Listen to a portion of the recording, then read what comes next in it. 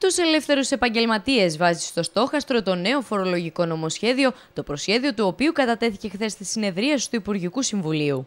11 κατηγορίες μπαίνουν στη λίστα των υπόπτων και θα δουν τα βιβλία τους να γίνονται φύλλο και φτερό, προκειμένου να διαπιστωθεί ότι είναι νομοταγής. Αρκετά είναι τα επαγγέλματα τα οποία μπαίνουν στο στόχαστρο τους ΔΟΕ και αναμένεται να γίνουν φύλλο και φτερό τα βιβλία τους. Σύμφωνα με το νομοσχέδιο, αλλάζει το καθεστώς για γιατρούς, δικηγόρους, αρχιτέκτονες, οδοντίατρους, κτηνίατρους, τοπογράφους, οικονομολόγους, συμβούλους επιχειρήσεων, λογιστές και φοροτεχνικούς. Και οι λογιστές, φοροτεχνικοί και οι οικονομολόγοι ποτέ δεν είχαμε στο στο μυαλό μας να μπούμε ή να μην μπούμε στο στόχαστρο.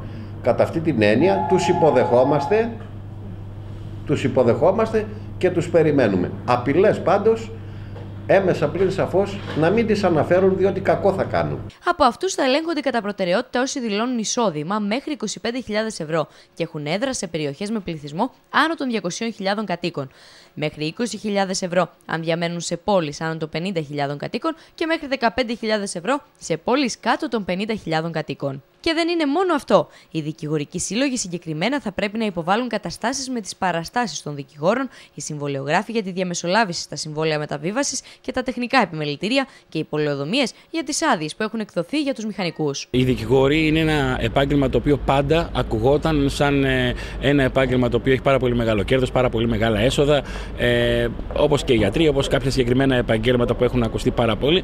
Και είναι λογικό ότι όταν ξεκινάει το κράτος κάποιος έλεγχο ή κάποια ίσπραξη φόρων να ξεκινάει και από αυτούς. Φυσικά αφήνει πολλούς άλλους στην άκρη. Αλλά σε κάθε περίπτωση είναι δεδομένο ότι η ίσπραξη, μάλλον η καταβολή του ΦΠΑ τους δικηγόρους, η οποία ξεκίνησε, δηλαδή τώρα είναι το δεύτερο τρίμηνο για τους δικηγόρους, δεν νομίζω ότι έχουν αντιμετωπίσει ιδιαίτερα προβλήματα. Εκτός από τις αλλαγές στις κατηγορίες αυτές, ετοιμάζεται μια σειρά νέων αυστηρών μέτρων με σκοπό την πάταξη της φοροδιαφυγής.